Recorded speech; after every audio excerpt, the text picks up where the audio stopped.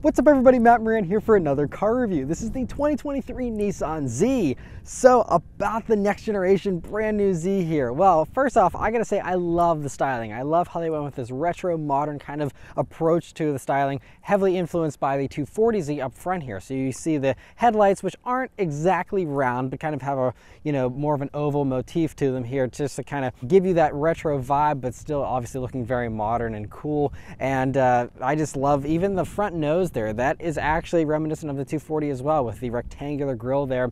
And uh, I know that grille's been a little bit divisive, but they said that that grille was necessary to feed the air that this uh, engine needs here. Now that it has twin turbos on it and stuff, they had to open up that grille area compared to a 370. And so that's why you have that big mouth there. But honestly, I think it looks really good considering, you know, the historical context of the 240 having a similar thing and also just the way it flows in with the rest of the vehicle here. I think it's really cool. I like the little uh, detailing you have there in the grill as well. And everything just is very nicely integrated.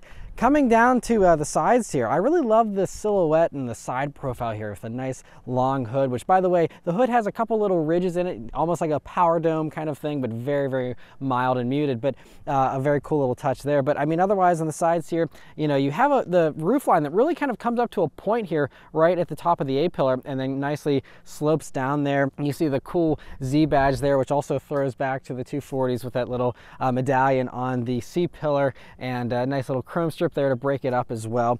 You also have on the performance trim here these raised 19 inch forged wheels and uh, they look really nice. I like how they're kind of a gunmetal kind of look to them and have some metallic flake in them as well and look really nice. They're not just flat black or something like that. You also can get gold wheels on the very rare Proto trim if you'd like. And if you go to a base sport trim, those have 18 inch wheels, um, but these 19s look really sweet. You also get uh, narrower tires on the Sport. This is running 255s in the front and 275s in the rear. It'll be 245 all around on the base trim. Also, I really love these door handles. You know, it's a very reminiscent of past Zs, which also had a similar type of styling to them, um, but this one's a little more flush, a little more uh, low profile, and just looks really cool here and kind of gives us almost a concept car vibe on the side with those handles. And then going out to the back there, you'll see those 300ZX inspired taillights. And I love that they did that. And I love that they weren't afraid to blend, you know, one style with another. I also love how here on the performance trim, you do have a little bit of a sportier exhaust setup. It's a sport tuned exhaust. And you can see how the, you have the nice detailing there on the tips of it. And uh, just the rear underspoiler there is also a nice touch. And also the spoiler you get on the deck lid there is part of this performance trim. But overall, I think they just did a really good job. And I also love that they're offering this in exciting colors. You can get it in like that yellow color. You can get it in a bright red, this bright blue. You know, some really fun, bold colors, which is what you want in a sports car as well. You want to stand out and, you know, having a great color palette really helps with that as well. And so overall, I just think this thing is a 10 out of 10 in the looks department. The interior of the Z is also nicely modernized here while retaining some of the classic elements that uh, people probably really enjoy about Zs. So first off, sitting down in these seats. So this is the performance trim that we're in here. So you have these leather and suede seats here. And so very similar to the old 370 seats, I think. Um, they feel pretty similar to me. Uh, even has this little cutout here in the middle like they used to have. Um, their power adjustment here only on this performance trim. If you go for a base trim, it's manual. But the only power part is the forward and backward and the uh, seat back here. Um, they're also heated seats and they're pretty comfortable though. The bolstering is really nice and even me being a little bit of a smaller guy here, uh, it holds me in pretty nicely and uh, just feel nice and snug like you want a sports car to be. Next is the steering wheel here in the Z, which is great. So for the uh, performance trim here, it says it has a premium uh, leather steering wheel. I guess it's a non-premium leather in the regular uh, sport trim. But anyway, it's a great steering wheel. I love the design of it. Uh, just a few buttons here on the front of it, but it has a great 9 and 3 grip. Nice little 10 and 2 notches.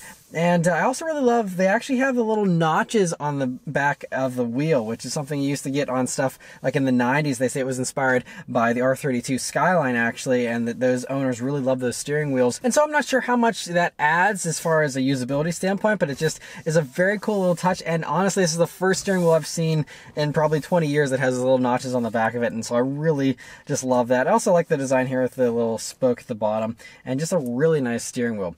The gauges here in the Z are fantastic. They did a wonderful job with these gauges. So it's a fully digital display here. It's nice and big too. It's a 12 inch screen, I believe. And uh, I just love, this is the sport uh, view that you're seeing here. And I mean, they gave you all kinds of great info with that tach front and center, having the shift light there at the top, and then having the option for a boost gauge, G meter, you know, having all that stuff there is really nice. But then I also love how you have all those other gauges, which you can't configure, but they're always just there on the right hand side. So I mean, you have all that stuff you see there, way more than you get on most other, even performance vehicles, honestly, to have all those different temperatures.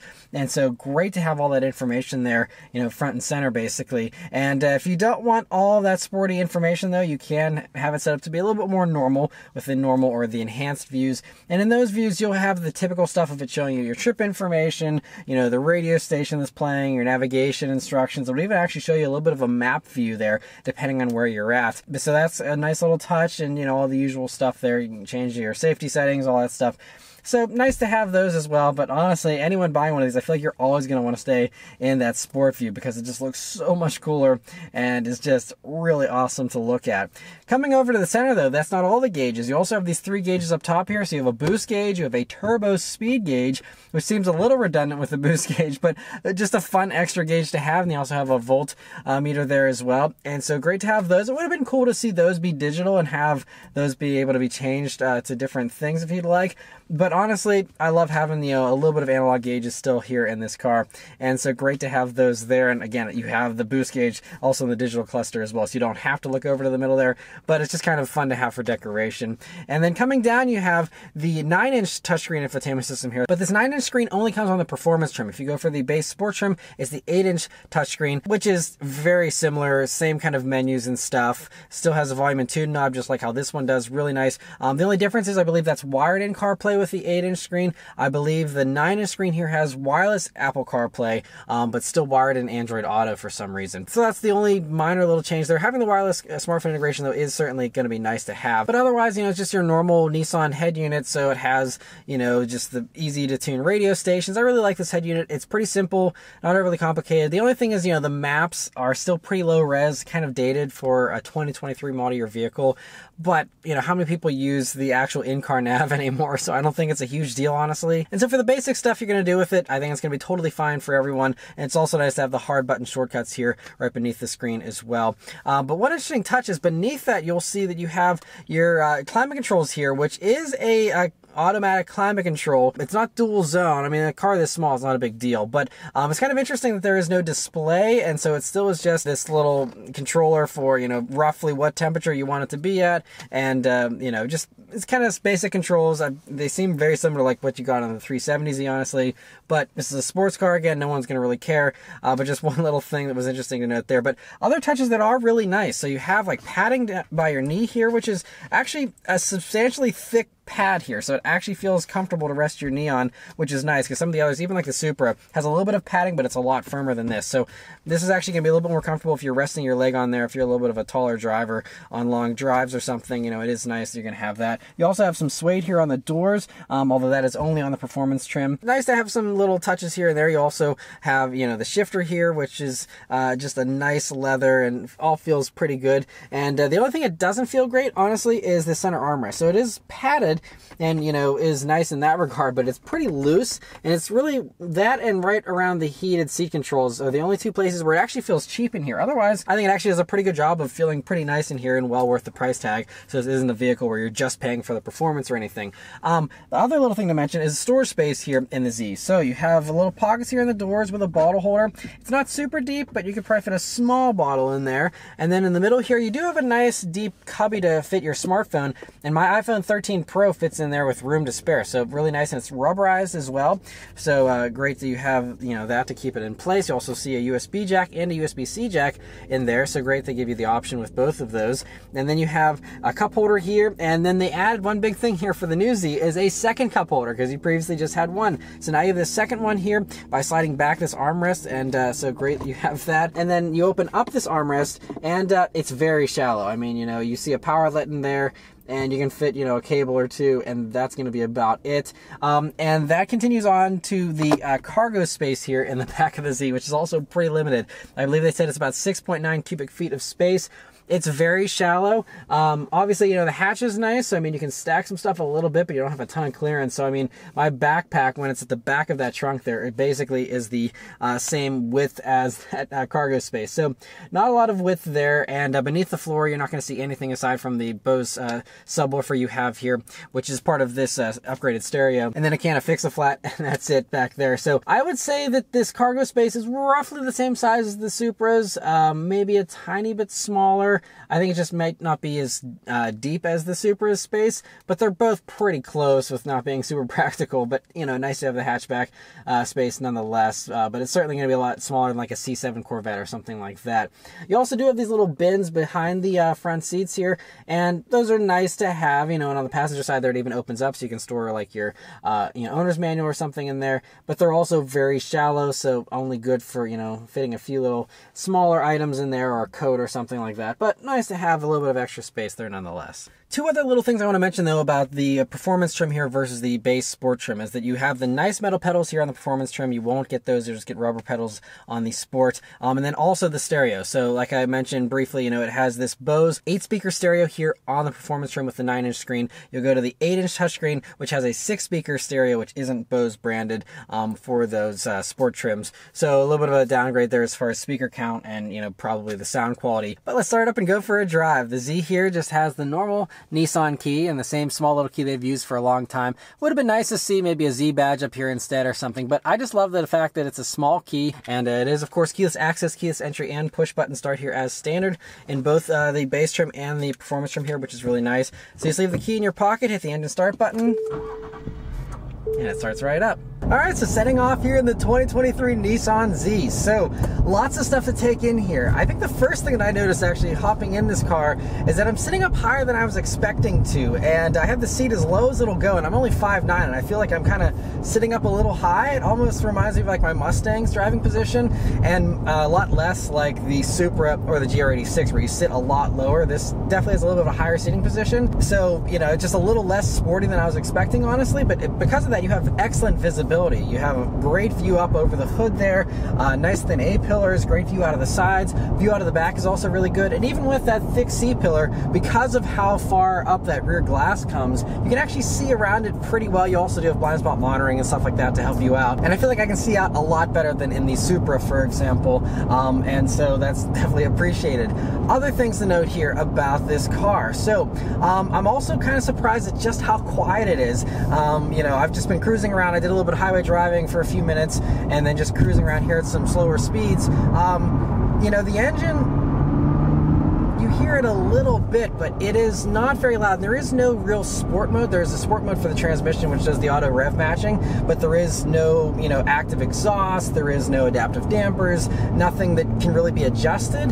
And so, as a result, you know, there's no way to make this exhaust louder aside from going to the aftermarket. And um, I mean, it has a nice little growl to it, but honestly, I wish there was more noise. Uh, the only noise that I am getting that I'm kind of wishing I didn't have as much of is road noise. It could be the roads around here outside of Vegas, uh, the way they're paved or something, um, but there's an elevated amount of road noise. I'm doing about 40 miles per hour right now, and it's okay on this road, but earlier on the highway and stuff, I mean, it's it's pretty loud. It actually seems like it's a little bit more road noise than I actually had in the BRZ uh, that I just had for a week. But some stuff I really like about the new Z here so far is steering is wonderfully weighted, has uh, just a very natural feeling to it. I love this steering wheel too. It just feels really good to use. Uh, throttle response is also really immediate. Just a tiny bit of a tip in before you start getting response. And, but I mean, it's very direct and the boost, you know, comes on nice and early.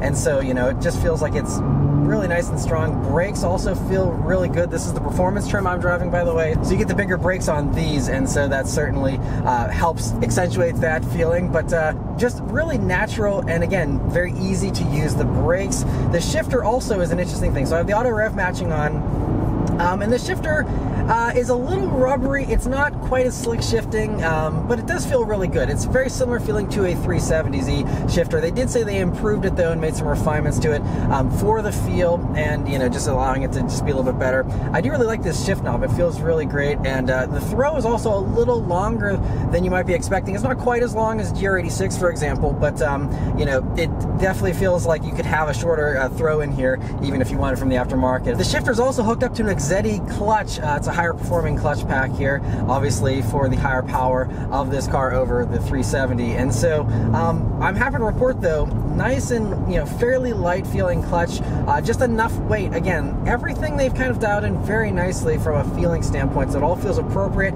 Nothing feels too heavy or too light. It all just feels just right. But the moment you've all been waiting for, let's turn down onto this back road here and see how it does.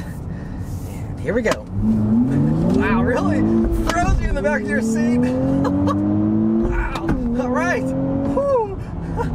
It pulls really well, and the traction control is lighting up there, so it wanted to break those tires free. And, uh, but yeah, wow. Whenever you uh, get up over, I'd say, you know, like four grand, that's when it really, and over five, it really starts to pick up. And wow, that's where it pulls nicely. And I got some more sound there up at these higher RPMs. So now it's starting to sound better. this thing is a rocket. It flies. Wow. Very, very impressive. And also the performance one here does have a sport muffler, so it is going to be a little bit louder than the base one. Um, but anyway, so the specs. So it's the 3 liter twin turbo V6, same motor as the Q60 Red Sport and the Q50 Red Sport 400, but they did uh, make some changes to it. So it has better throttle response now, uh, thanks to a recirculating valve and a couple of other tweaks they made to it. And so, still 400 horsepower, 350 pound feet of torque. I mean, huge leaps over the 370Z, and um, it's it shows. I mean, this thing, yeah, this thing is way, way faster than the 370s for sure, obviously. Um, and 0 to 60, by the way, uh, was, I think, I didn't see any official quoted time, but it's going to be under five seconds here with the manual and, uh, you know, probably in the mid to low fours if you have that automatic. But, um, they also have launch control here with the manual and the automatics. It's really great. You can get it here with the manual as well. Um, although I don't see any easy way to turn it on. I, there's no launch control button, um, so I'm gonna have to figure out how, to actually do launch control here. Um, but man, this thing though, it pulls so strong. So you get peak torque from 1600 RPM, and it'll pull all the way through into the you know the mid range there, and then peak horsepower comes on at 6400 RPMs uh, before its red line, right around 7000. And so, man, this thing though, it pulls really strong. So obviously it's a little hard to compare the power delivery to the Supra because the Supra is uh, up until about a couple of days ago was available with just the automatic transmission. And that's an 8-speed auto, so a lot closer for the gear spacing. So, you know, I'm gonna have to wait till I drive the manual Supra to truly compare how they feel back to back. What I can say is, I mean, this thing, it really they did a good job with the gearing as well to make it so that it doesn't feel like it's too you know slow or anything they made it pretty short for the gearing here so we'll see how second gear see where it tops out at here.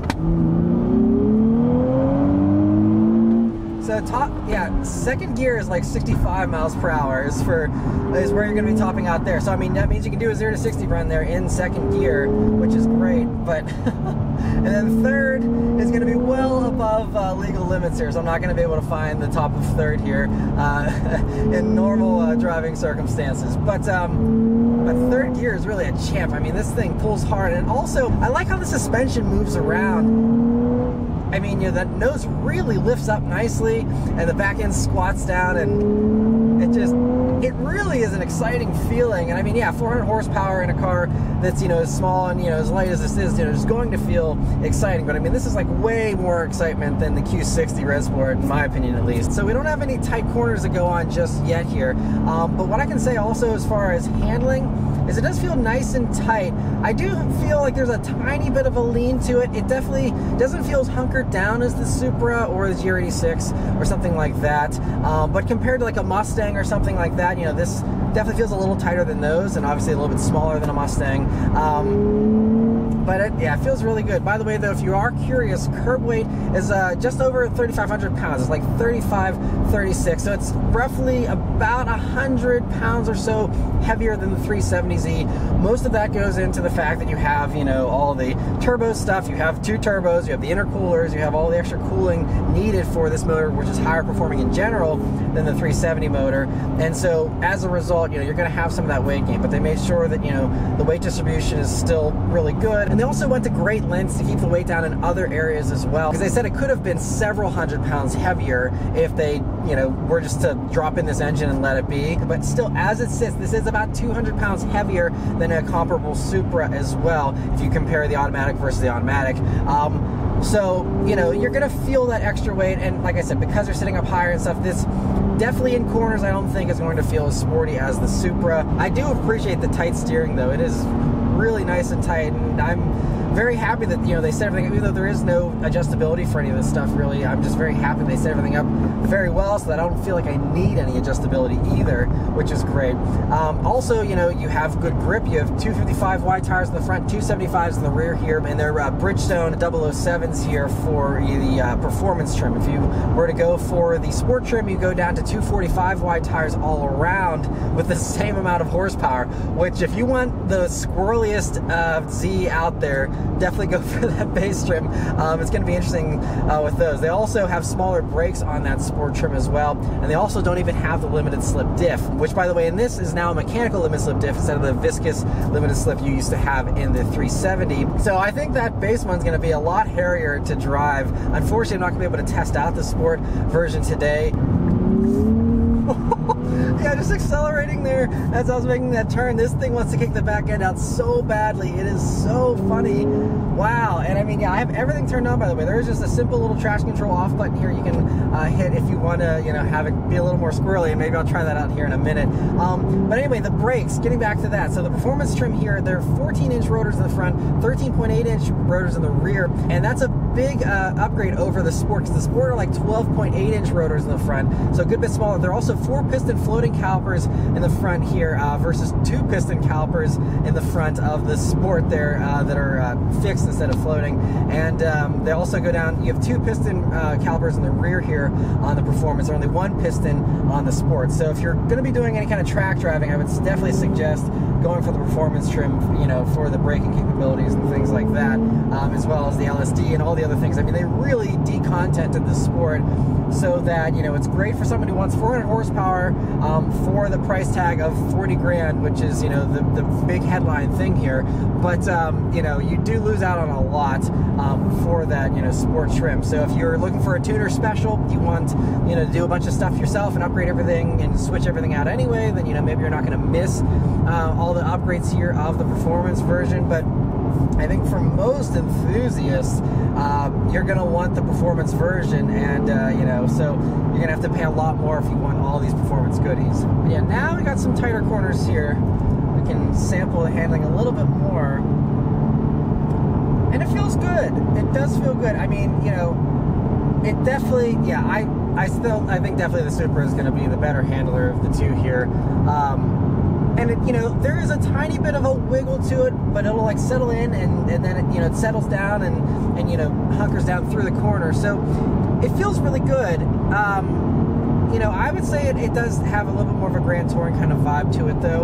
Um, it's not as razor sharp as some of the other sports cars, but that's okay because you know you still have you know comfortable ride here for the most part. But on this road, you can start to hear some of that road noise as we're getting up closer to some highway speeds. got a tighter corner here.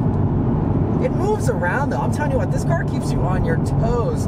Um, this is they actually in the presentation kind of likened it to a dance partner, and I can kind of appreciate that a little bit more now that I'm driving it around corners. How it it wants to dance around, literally. So you really do have an actual dance partner here. That's not just a you know a figure of speech. This thing is actually trying to dance around, and you're managing it, and I love that because it very much makes it feel engaging. I feel like um, I definitely have to be on my toes a little bit more here in this than I did in the Supra or the BRZ GR86, where I think those cars imparted a little more confidence in the handling. This I have a little less confidence because it feels like it wants to step out and it feels like it moves around a little bit more, but that's exciting and engaging. So it's going to come down to your personal preference. Um, if you want something that's you know razor sharp and super buttoned down, you can have that uh, with some of the others. I think this is going to be the for those who do really you know want the more playful side of the handling uh, you know component here with this. I think that's um, kind of what the vibe I'm getting here with the Z so far. A couple other improvements in the handling here is that you now have monotube shocks instead of the twin tube shocks you used to have from the 370Z, and then you also have an increased caster angle, um, which they say also helps with giving you a little bit more stability. And uh, on top of that, you know you have a double wishbone front suspension, independent multi-link rear, and so all those things really help to you know give you still very confident handling, even if it isn't um, you know like I said quite as hunkered down as the Supra or a GR86 or something like that. Um, still, still feels very lively, which is what I think I really love about it the most, is just how lively and uh, how much you have to actually engage in the driving experience, which is awesome. But if you are someone who wants the lightest possible Z, the sport trim does drop about 50 pounds off of this, coming in just under, I think it's like 34.86 for its curb weight, so that allows you to be under 3,500 pounds there if you're okay getting rid of, you know, all the goodies in the performance version here. And then also, by the way, it's worth mentioning, if you were to go up to the 9-speed automatic version, um, then that will add on about 66 pounds extra for that, so that one potentially put you, you know, about 3,600 pounds. Either way, you know, it still is lighter than a Mustang, for example, by several hundred pounds,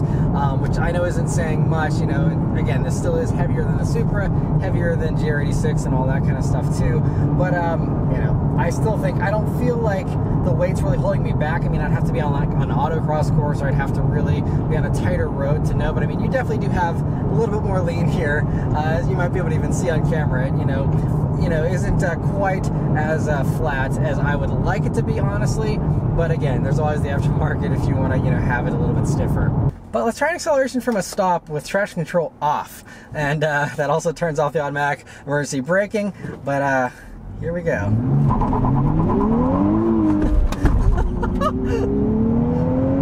yeah, it's more than happy to give you lots of wheel spin there when you do that. Oh man, that was fun. So there's a little bit hop sensation there. Supposedly, even with the launch control on, uh, will allow you to do a little bit of a wheel hop kind of sensation. But they say that's actually the fastest way to uh, actually do a launch in this car. And I'm to do an acceleration here with the windows down. traction control still lets me provoke the back end. But one thing you might notice here is, so now I'm doing highway speeds, and guess what? There's no helicopter noises, there's no wind buffeting. So definitely an improvement over the Supra where that is not fun to drive with the windows down unless you modify uh, the mirrors there to get rid of that sound. But uh, in this, no modification necessary. There's no wind buffeting, so if you're someone who loves driving with the windows down, the Z is going to be a great car for that. And one more acceleration just for good measure. Man, the way this thing really uh, raises up whenever you're flooring it is so much fun. Oh man, so one other little thing I do want to mention is uh, some people were wondering about how does this feel at legal speeds? You know, is it a car that's too much horsepower? You know, can you have fun at legal speeds in it? And I mean, I would say that, you know, obviously it's 400 horsepower and, you know, the way this thing is geared, I mean, you're still, you know, second gear doesn't max out till 65 miles per hour. So that kind of tells you everything you need to know as far as, you know, if you want to do a 0 to 60 run, um, you know, you're going to go through first and second and be done. Um, so, you know, that's a very common problem with many other vehicles these days. Um, so, you know, in that regard, you know, yeah, you can't run through the gears a bunch like you could in something like a Miata or a GR86, for example. Um, but, you know, I think that it still is fun at legal speeds just because of the boatload of torque. I mean, that full torque coming on at 1600 RPMs means anytime you're loafing around, you just stomp on it. I mean, you know, you can just do those quick little spurts, but I mean, that nose lifts up still, and it really, I mean, that full boost comes on and really starts to sling you forward. I mean, it's, I feel like I'm, whenever I floor this thing and then that boost comes on full blast, it feels like what it looks like in a Fast and Furious movie when they hit the NOS, they're like, whoa, like That's kind of how this feels. It really plants you in the back of your seat very strongly. And so in that aspect, it's a lot more fun than the GR86 or something like that. And also more fun in my opinion, than even the Supra, you know, as far as, you know, just holding onto one gear and just having it surge forward. The Supra is very intense and crazy, but it's also shifting a bunch while it's doing that because of that 8-speed automatic, and that's how it's so insanely fast. It's ripping off those shifts super fast with the super short gearing and stuff. Um, so this, you know, is a little bit of a different uh, speed sensation but it's a very uh, kind of a little bit more old school of a sensation and uh, just still so much fun. And so, you know, I mean, yeah, you know, a car like this, 400 horsepower, it's going to be tough to fully exploit on the streets anyway. Um, but you know, it's just as much fun as, you know, Mustang GT on the streets or something like that, which has, you know, even more power. Um, same kind of deal here in this, in my opinion. Um, also, we can lean on these brakes, really strong brakes. I really, the more and more I push this engine, the more and more I really do love it. Even though I still have zero out of the exhaust, basically, I really do love that induction note, and the way this motor sounds is really nice. I still would you know, love to see an active exhaust on this or some kind of option for that. As it is, it sounds really, really sweet. So I kind of recant my previous complaints. You know, if you're going slow, you know, it would be nice to have a little bit more sound, but you know, whenever you're uh, getting on it, at least you do have a good amount of volume and a good amount of excitement there from the uh, audio department. And this road right now is a little bit bumpier, and uh, still the ride quality is really nice. You know, it's not overly stiff. I'd say the ride quality is certainly better than the Supra, uh, a little bit more comfortable than that, and probably even a tiny bit more comfortable than the GR86 and the BRZ, um, but not quite as comfortable as a Mustang. So kind of, again, the happy medium, kind of where the Z's falling with everything, with power, with pricing, with, uh, you know, everything. It seems like the ride quality is just the same, where it's kind of in between, uh, you know, the harder edge stuff uh, from Toyota and the uh, softer, you know, muscle cars and stuff like that. But it's a really nice thing. I think it'd be great to daily drive, great to go on a long road trip, and even because you know it does have uh, you know nice, good amount of visibility, good ride quality. I'd say I would certainly pick this for a long drive over a Supra, you know, just because of those comfort things. One other sound that I'm noticing is you actually have a little bit of gear whine. I notice it most in fourth gear, right around 3,000 RPMs. You're cruising like 50 miles per hour. Not sure if you can hear that or not, but just very interesting.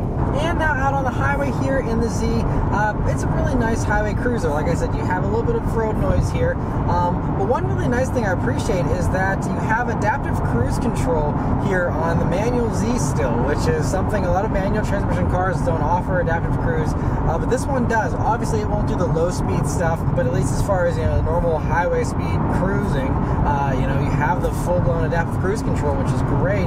And so, uh, other than that, you know, you have blind spot monitoring and uh, your cross traffic alert, all the typical safety stuff you'd expect. And it all seems to be standard, by the way. So if you go for that base sport trim, I don't think you lose any of the safety tech. So that's one nice thing they still do include with the sport versions. Um, and uh, yeah, just out on the highway here, yeah, just a nice cruiser. Like I said, the ride being a little bit softer than the Supra certainly is nice. And uh, yeah, just a really nice thing to cruise around in. And now the road's gotten smoother. So here's what a nice, smooth highway uh, would sound like. But the last two things really mentioned here are the fuel economy and the pricing of the Z. So first off, fuel economy, these are rated for the manual at 18 in the city, 24 on the highway, and 20 combined you know, if you're buying one of these, you probably don't really care too much about fuel economy, um, you know, but it is worth noting that that is, you know, basically like the same kind of fuel economy you're going to be getting in a Mustang GT or something with its V8. So it's not fantastic, but it's a twin turbo V6. What do you expect? If you are looking for the best fuel economy out of a Z, you can go for the automatic. That gets about four better on the highway, and I think two better combined. Obviously, having those nine gears really help you on the highway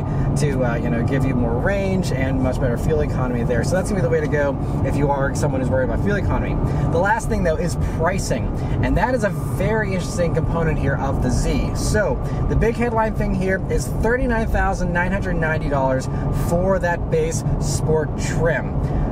But if you want this performance trim, which again gives you the bigger brakes, the mechanical limit slip diff, you have no LSD in the base sport trim. I also have no auto rev matching in that sport trim. You have no launch control. You also do without this sport muffler. You do without the sport tune suspension. You also do without these forged wheels just going down to regular alloy wheels. They're, they're 18 inches in the smaller rubber, you know, 245 wide. A lot of downgrades, you know, for that sport trim. But I was shocked at the price gap because this performance one is $10,000 more expensive. So if you want all the stuff that I have in this one here, um, it's going to be $49,990 uh, before destination, by the way. Destination is another $1,025. Um, so essentially, you're looking at about 51 grand for this one, the way that I'm driving it. Um, and of course, paint and stuff will give you maybe a few little changes, but basically 51 grand for the performance trim, 41 for the base.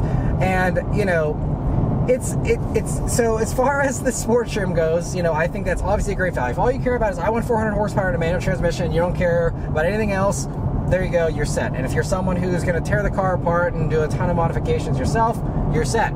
Uh, but if you're someone you know who wants something out of the box that's going to be comprehensive, you know, having the good brakes you expect, having the limited slip diff to put down the power well like you're expecting, um, if you want all those improvements and the other nice stuff like the auto rev matching, not a big deal, but you know that is you know just all the mechanical stuff you know and i mean the forged wheels aren't cheap either i'm sure but you know if you want something that's really ready to go out of the box though, yeah, there is no mid-grade trim. It's either you go for 40 grand or 50.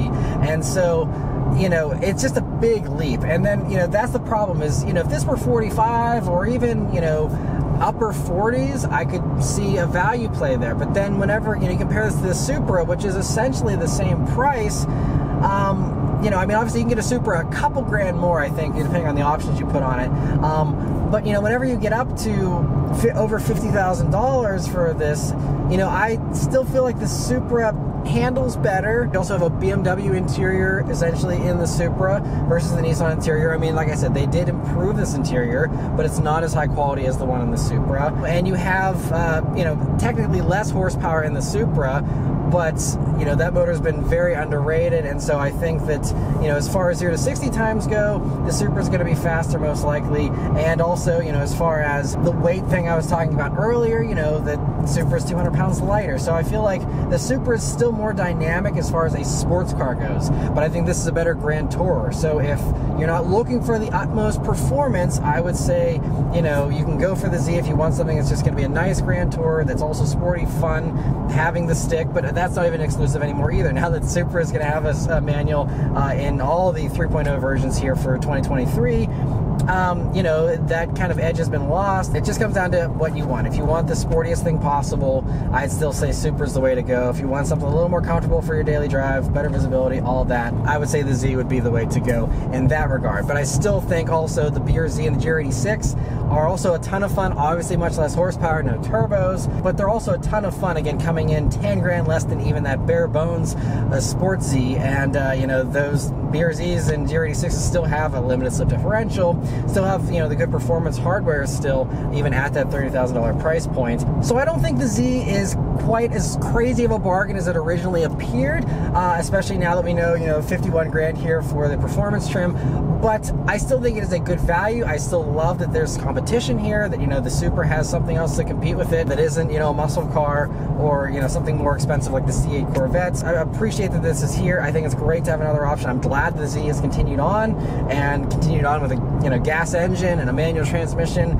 Um, you know these days all this stuff is really hard to come by. So just the fact this car exists is awesome, regardless of the price. But then adding in the price, I do think it's competitive. It just comes down to you know what you prefer as far as setup. But um, yeah, overall, still a lot to like here about the new Z, and uh, it's fantastic. Now they they did say, I believe, you know, they're uh, going to be limited availability, hard to get, especially here in 2022, and they're not going to be on sale till this summer. Um, so uh, you know, it's going to be a little bit of a wait, wait for most people before they're able to actually get one. Um, but whenever you do get your hands on one, I think that most people will be pretty impressed with this. I think it's definitely so much better than the 370, and um, just an absolute blast to drive. But anyway, that's all of my thoughts here on the 2023Z. Let me know your thoughts on in the comments below. Huge thanks to Nissan for providing me here with this opportunity to review the Z for you guys. And yeah, thank you guys very much for watching. I'll see you on the next one. Take care.